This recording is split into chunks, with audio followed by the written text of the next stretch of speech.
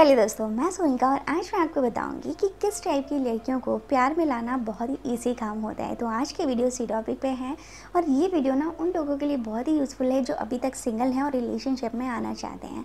तो आई video start करते हैं। तो दोस्तों, चैनल पर नए हो तो प्लीज़ चैनल को सब्सक्राइब कर लीजिए, साथ ही जो बेलाइकन है इसे ज़रूर दबा लीजिए, जिससे जब भी नई वीडियो अपलोड हो तो उसका नोटिफिकेशन आपको मिले। तो आई वीडियो स्टार्ट करते हैं। तो दोस्तों, आइए जानते हैं कि किस टाइप की लड़कियाँ, लड़कियों को प्यार में लाना बहुत ही ईजी काम होते हैं। तो सबसे पहले बात करते हैं उन लड़कियों के बारे में जो बाय नेचर काफ़ी ज़्यादा रोमांटिक होती हैं। जी हाँ दोस्तों, देखो ये लड़कियों को, इन लड़कियों को प्यार में लाना बहुत ही ईजी काम होता है बट यहाँ पे क्या है, इनको इम्प्रेस करने के लिए आपको ये चीज़ें शो करनी पड़ती है कि आप खुद एक बाय नेचर रोमांटिक इंसान हो। इन चीज़ों को शो करने के लिए आप उस लड़की के सामने रोमांटिक गाने गुनगुना सकते हो रोमांटिक मोमेंट क्रिएट कर सकते हो ठीक है जिससे लड़की जब आपको देखे तो उसे लगे कि हाँ आप खुद एक रोमांटिक इंसान हो, जिसकी वजह से उसका अटेंशन आपको ज़्यादा मिलने लगे, वो आपको ज़्यादा नोटिस करने लगे। तो इस तरीके से जो लड़कियाँ बाई नेचर रोमांटिक होती हैं, इन्हें आप अपनी तरफ़ अट्रैक्ट कर सकते हो। दूसरी हैं वो लड़कियाँ, जो जिन्हें एक तरह से ड्रामा क्वीन के नाम से जाना जाता है। जी हाँ दोस्तों, ऐसी लड़कियों को एक तरह से ये भी कहा जाता है कि नखरों की दुकान है तो अगर आप इन्हें इम्प्रेस करना चाहते हो, इन्हें अपनी गर्लफ्रेंड बनाना चाहते हो तो भी ऐसी लड़कियाँ बहुत जल्दी इम्प्रेस हो जाती हैं बट यहाँ पर इनको को, इनके लिए करना क्या पड़ता है कि आपको इनके नखरों को झेलना पड़ता है। तो अगर आप इनके नखरों को झेल पाओ तो आप बहुत जल्दी इन्हें इम्प्रेस कर सकते हो, इन्हें अपनी गर्लफ्रेंड बना सकते हो। इसके अलावा नेक्स्ट बात करते हैं उन लड़कियों के बारे में जो बाई नेचर काफ़ी ज़्यादा इमोशनल होती हैं। दोस्तों, देखो, लड़की हैं तो उनका इमोशनल होना तो बहुत ही ज़्यादा स्वाभाविक है।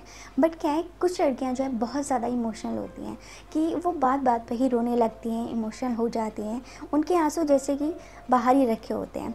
तो इस टाइप की लड़कियों को भी इम्प्रेस कर पाना बहुत आसान काम होता है। बट यहाँ पर चीज़ें शो ये करनी पड़ती है कि आप खुद एक इमोशनल इंसान हो, जो उनकी फीलिंग्स को अच्छे से समझ पाए, उनके इमोशंस को अच्छे से समझ पाए, ये चीज़ें आपको दिखानी पड़ती हैं।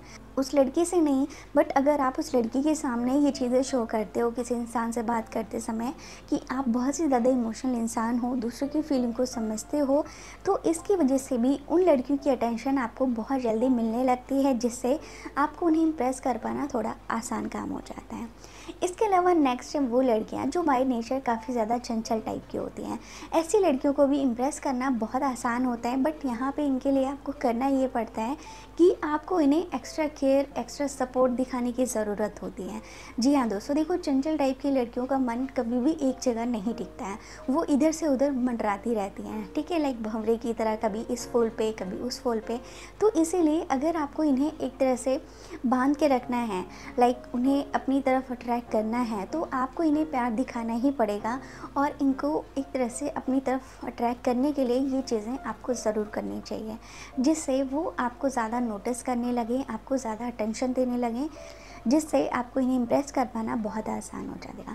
नेक्स्ट है वो लड़कियाँ जो बाई नेचर काफ़ी ज़्यादा हसमुख टाइप की होती हैं, काफ़ी ज़्यादा फ्रैंक होती हैं, दूसरों से बहुत ही जल्दी कंफर्टेबल हो जाती हैं बात करते समय। तो इस टाइप की लड़कियों को भी इम्प्रेस कर पाना बहुत आसान होता है। बट क्या है, इन्हें आपको दिखाना पड़ता है कि आप खुद एक ऐसे इंसान हो जो अपनी बातों से किसी भी इंसान को हंसा देते हैं, वहाँ का माहौल चेंज कर देते हैं, जिनकी बातें ऐसी होती हैं कि जो अपनी बातों से ही दूसरों को कंफर्टेबल फील करवा सकें। आज की वीडियो यहीं पे ख़त्म होती है। वीडियो अच्छी लगी हो तो इस वीडियो को लाइक और शेयर ज़रूर कर दीजिए। चैनल पर नए हो तो प्लीज़ चैनल को सब्सक्राइब कर लीजिए। अगली वीडियो में नए टॉपिक के साथ मिलेंगे।